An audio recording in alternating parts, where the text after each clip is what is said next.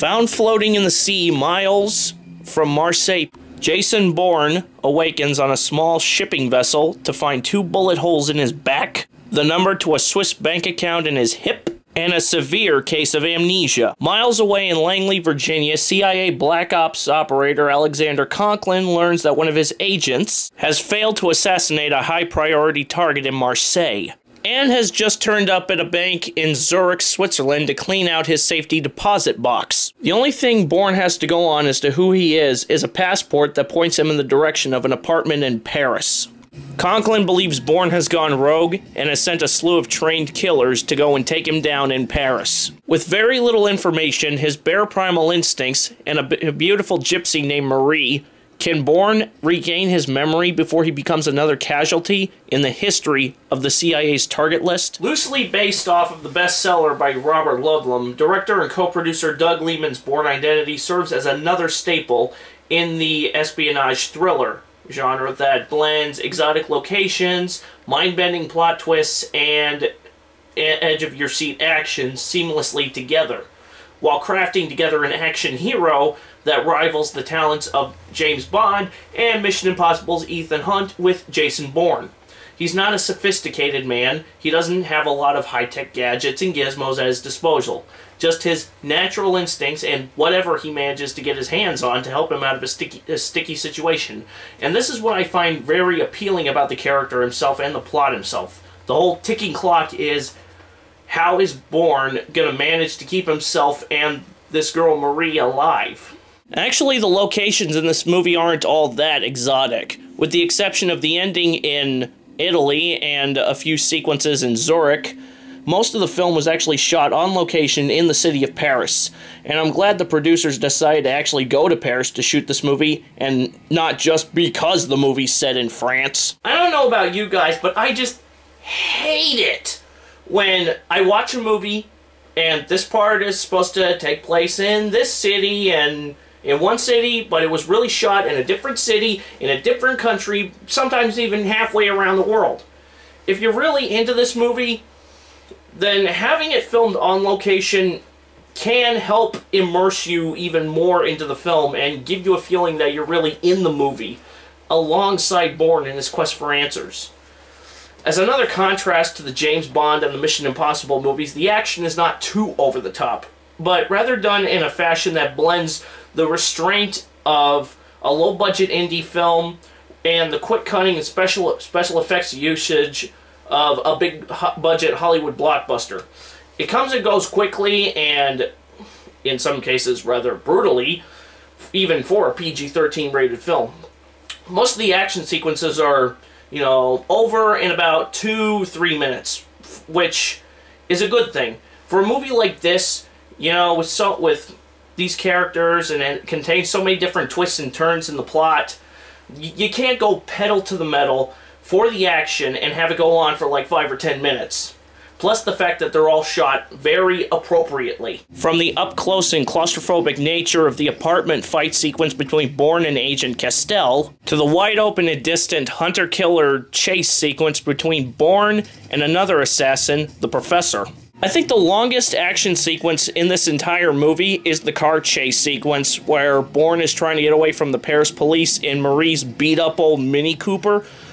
The sequence goes on for about a good four and a half plus minutes, you know, and Bourne going down back alleys and sidewalks and even the wrong way down a one way road. And the scene is nicely paced by not only the quick cuts, but also Bourne's evasive maneuvers and Paul Oakenfold's Ready Steady Go playing in the background. I think my personal favorite action sequence in the entire movie comes before the car chase. It's when Bourne is having that little fight scene with Castel after he crash lands into his apartment. Because, you know, all the other action sequences in the movie, like the little escape from the embassy scene, you can see it coming. The, the car chase, you can pretty much see it coming. But this fight sequence, it comes from literally out of nowhere.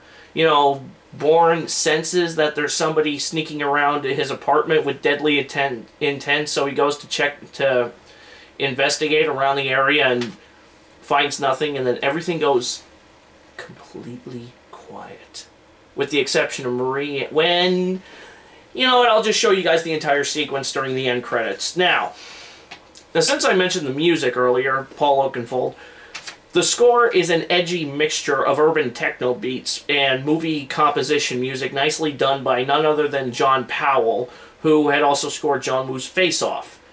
Every note, every beat matches the scene perfectly. And one last thing I want to talk about the movie is the acting. Certainly it's not going to win any Oscars, but all the actors do their jobs sufficiently to the point that you can believe these actors are who they're supposed to be playing. They are these characters. They are these people, basically. I can tell you the license plate numbers of all six cars outside. I can tell you that our waitress is left-handed and the guy sitting up at the counter weighs 215 pounds and knows how to handle himself. I know the best place to look for a gun is the cab of the gray truck outside. And at this altitude, I can run flat out for a half mile before my hands start shaking. Now, why would I know that?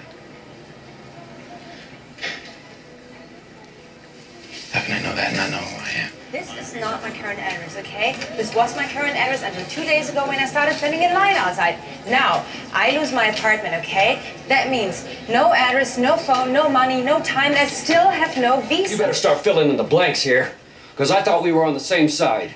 Whose side is that? Boy, you don't know what you're doing, do you, Jason? You don't have a goddamn clue. Who am I? You're U.S. government property. You're a malfunctioning $30 million weapon. I work alone like you. We always work alone. You mean? Who are you, Rome? Paris? Treadstone. Both of us. Treadstone? Which one? Paris. I live in Paris. Do you get the headaches? Yeah. I get such bad headaches. You know, at night when you're driving the car. I don't know, maybe it's something to do with the headlights. What is Treadstone? Treadstone said pills. They said go to Paris. Is Treadstone in Paris? Look at this. Look at what they make you give. If they want to kill me, they better kill me the first time. They better kill me dead. They better kill me when I'm in my sleep. Nicola, listen to me. We need these people. It's hard enough getting people that we know to help us. We need to be careful. We? No, you. You need to bring me back that bastard Kane's head, put it out in front of this house, and show them what kind of war we are fighting. So, bottom line, if you're looking for a good thinking man's spy film, or an action thriller, or a good alternative to James Bond and Mission Impossible, I'd highly recommend The Bourne Identity. What is it? Something wrong?